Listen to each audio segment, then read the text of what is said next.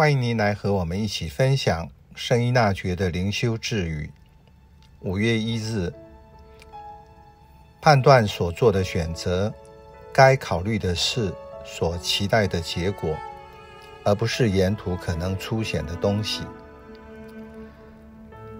判断影响人做选择，许多时候判断会受到过去的经验及现在周遭环境的影响。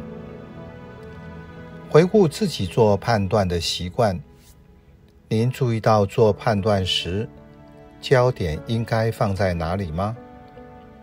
我是不是更期待目标或结果，而不是过程中的事物？一份市场调查研究发现。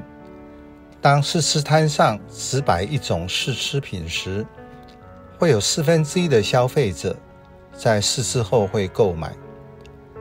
但是当摊上摆上了三种产品时，购买率便降到百分之五。这说明，当资讯变得复杂、选择多元时，会影响人的判断力，反而让人不知如何选择。对于有选择困难的人，问题不在如何选择，而是不能确定自己所要的目标是什么。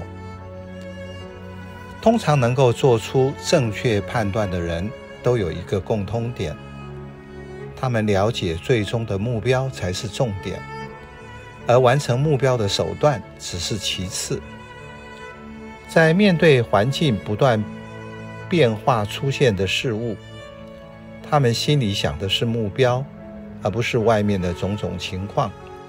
也就是这句字语指出的：决断你要做的选择，你该不顾过程中表面看起来是合理顺当的事，而是注目于终点。因此，做决定时，你要聚焦在最后的目标，不是过程中出现的事情合不合理。而是你的优先是什么？因为合理很好，但要小心。如果它已经成为俗话的合理，因为大家都这样做，所以是合理。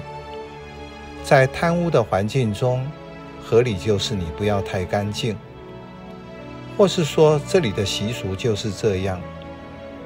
但这是不顺当，也不符合天国的原则。在信仰内，先确认你内心最深的渴望是什么，那才是生命要紧的。圣奥斯定说：“拥有爱，然后做你想做的。”所以不要东看西看，摇摆不定。先厘清什么是你要的，才能把目光放在生命的目标。